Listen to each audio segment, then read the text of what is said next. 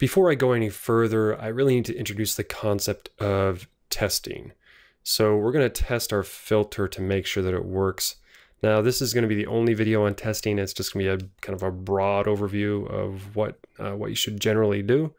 Uh, but it's necessary because when you start writing things like filters, you need to have absolute confidence that they're doing what you expect them to do, not just that they're magically working.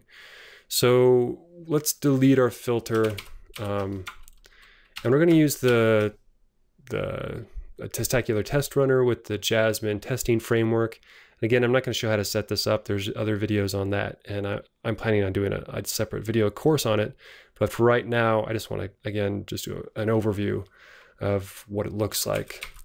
So we're just going to describe a test suite of um, what our filters should do.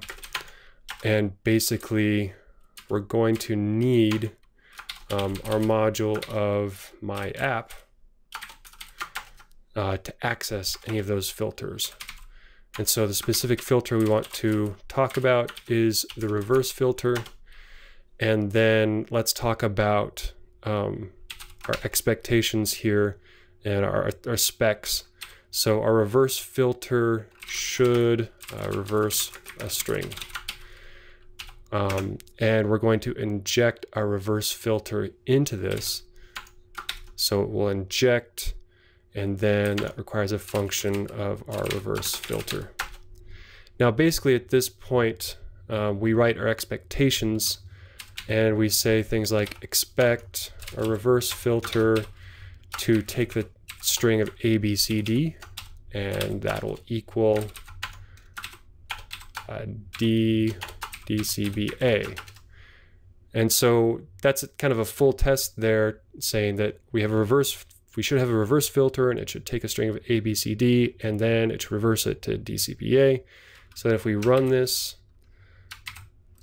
um, you'll see that quite a few things have failed. So failing in unit tests and testing is actually a good thing because it gives you the next step of what you need to do. So we don't have a reverse filter, so we need to set one up. So that, that's basically what that test says, uh, or what that, that failure is telling us to do is just go up and, and set up a, a reverse filter. So we'll create our reverse filter here. And if you remember the syntax,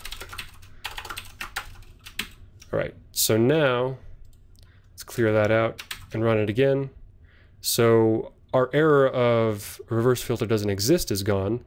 And now it says filter reverse should reverse a string. So that's saying filter reverse should reverse a string. And it got back nothing and expected DCBA. So we handed back nothing and it wanted DCBA. So let's make that pass um, DCBA. And this is kind of cheating, but it's actually a good thing because you want to do the smallest step to get your test to pass. So now we're back to green. We've gone from the red cycle to the green cycle, but we know that we're really cheating here and that this isn't uh, this isn't enough test coverage to really guarantee that that's reversing anything. So we also want to expect that JOHN will reverse to NHOJ, so John to or whatever. And then if I run the tests again, it's going to fail again. So it, you should reverse a string. Uh, we expected Naj. We got back DCBA. That's that's not correct.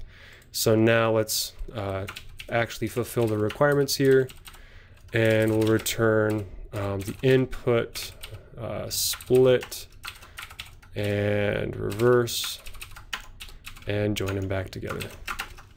Now if we run the test again, you'll see that the test passed. So now we are now we're confident that uh, based on our tests here, our expectations of ABCD and JOHN, that uh, those will be reversed. So we're pretty darn confident that any string we're, going to pass in is, is going to be reversed. You could write some more uh, expectations around special characters and those sorts of things to make sure you have full coverage if uh, you start seeing other errors pop up. Uh, but basically, that's that's what unit testing is. It's you know, just taking the smallest things you can find in your code base, uh, writing some very simple code around them to say, you know, is this working as expected? And if it is, then you're you have automatic code you can run to guarantee that your code is working as expected. Uh, hopefully, that's that's helped you understand unit testing a bit more. Um, I'm not going to go much more into it as I go through AngularJS um, but I will cover it in the future, so don't worry about that.